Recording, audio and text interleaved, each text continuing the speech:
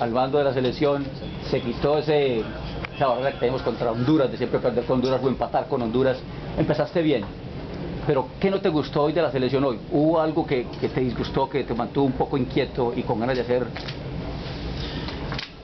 Gracias. Eh, ganar siempre da confianza.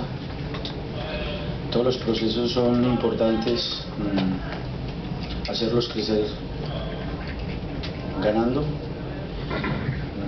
Hoy los últimos 10 minutos del primer tiempo no nos gustaron para nada. Nos desconcentramos, nos partimos, no armábamos figura eh, como debe de ser. Y al partir, pues desde luego no ganábamos rebotes. Mm, La primera opción de ellos de gol viene por un saque de banda, de, de- de banda, sí.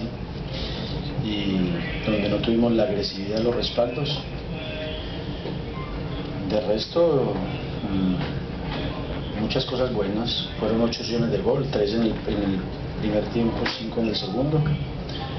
Un volumen bueno. Teo convierte de nuevo.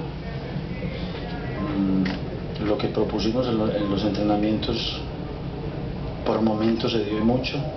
Tenemos que seguir continuando y avanzando porque hoy sí fue una exigencia alta, pero nuestra mira está en el Mundial de, de Brasil y para eso nos toca trabajar muy duro, proponer y esperamos que la respuesta del martes que viene contra Jamaica sea muy alta también.